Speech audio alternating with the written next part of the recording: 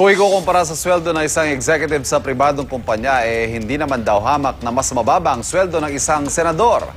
Pero bukod sa basic pay, marami raw allowance na natatanggap ang isang miyembro ng mataas sa kapulungan.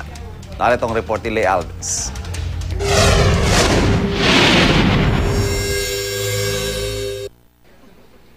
Sa laki ng ginagastos para sa pangangampanya, may mga napapaisip, magkano nga ba ang take-home pay ng isang senador?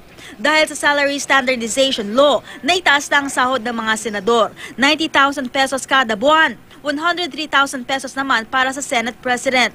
May nagsasabing maliit ito kumpara sa kita ng mga top executive ng mga pribadong kumpanya.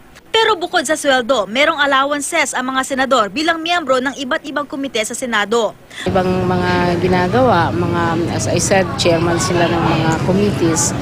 Um, kung mga may mga travel sila, may mga allowances sila na malalaki, eh, nakakabawi sila. They can make bawi legitimately eh. Ayon kay dating Senador Aquilino Pimentel, mas maraming komite, mas malaki ang allowance. Iba pa ang allowance kapag miyembro o opisyal ka halimbawa ng Commission on Appointments, Judicial and Bar Council at mga electoral tribunal kung saan merong ina-appoint na miyembrong senador. Bukod pa ito sa regular na travel at representation allowance. Sabihin mo na lang, mahina siguro 200,000. Mahina yung legitimate yun ha, kasali yung mga allowances. Kinukoy din ni Pimentel ang posibilidad ng pangungurakot ng isang di tapat na senador. Doon na lang for example sa yung tinatawag nating ah, PDF.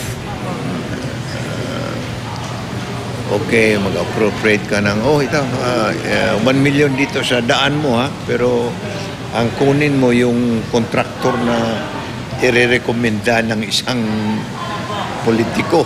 So, ibig doon, ah, sabihin nun, meron na silang cut doon.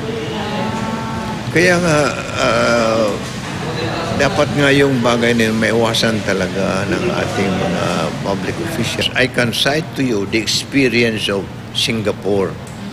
Sa Singapore daw, medyo kukunti ang corruption doon kung meron pa naman because ang mga public servants are well compensated. Maybe we can use that kind of an experience. Meron ding budget ang bawat senador sa pagpatakbo ng kani-kanilang mga opisina. Kamakailan nga, nagkasagutan sina Senate President Juan Ponce Enrile at Senadora Miriam Santiago dahil sa pamimigay umano ni Enrile ng milyong pisong cash gift noong Pasko sa ilang mga senador.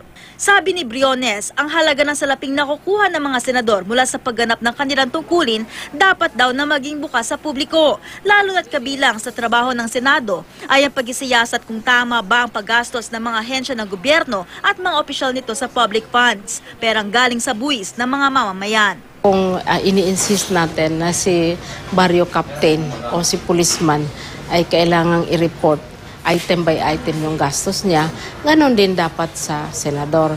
Kasi ang pera na ginastos ng pulis at ang perang ginastos ng senador o ng presidente ng Pilipinas ay pera din ng bayan. Para sa unang balita, Lay Alves reporting.